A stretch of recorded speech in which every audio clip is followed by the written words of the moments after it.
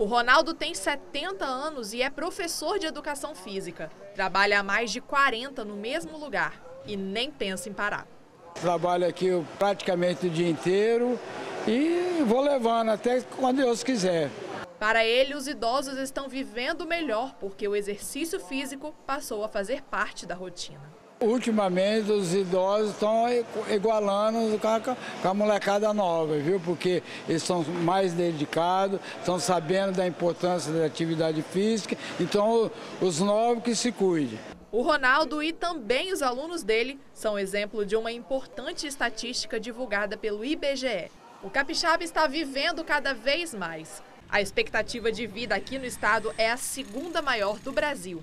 Isso quer dizer que um capixaba que completou 65 anos no ano passado tem a expectativa de viver por pelo menos mais 20 anos. São pessoas como o seu Rogério.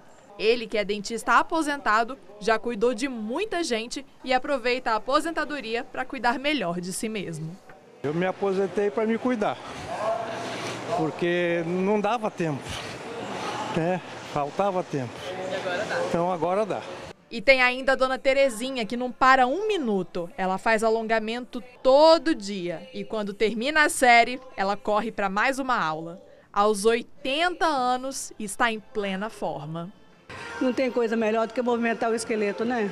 A senhora acha que a sua geração vive melhor do que a dos seu, seus pais, seus avós? Com certeza, com certeza. Eu também só vi descobrir o bem bom depois que me aposentei. Foi aí que eu comecei a fazer exercício físico e não paro mais. Para essa geriatra, fazer atividade física regular proporciona uma série de benefícios. Ela previne doenças cardiovasculares, previne que o paciente tenha uma pressão alta, um diabetes, controla as doenças já existentes, evitando então as doenças crônicas que podem fazer com que esse idoso no futuro que ele tenha problemas, que vai ser um acamado, um dependente.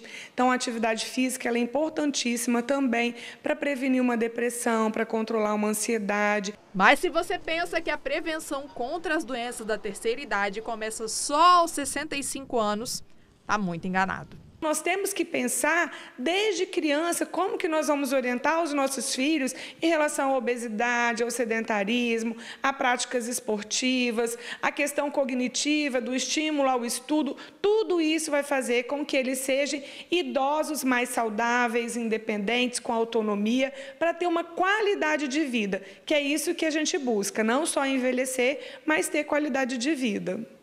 Então, se você quer viver até os 78 anos ou mais, segue o conselho da dona Terezinha, que a gente mostrou se exercitando lá no início da matéria. Nada de calmante, nada de muito remédio. O importante é exercício físico. Não tem coisa melhor. É meu remédio, sabia? É, o dia que eu não venho pra cá eu passo mal.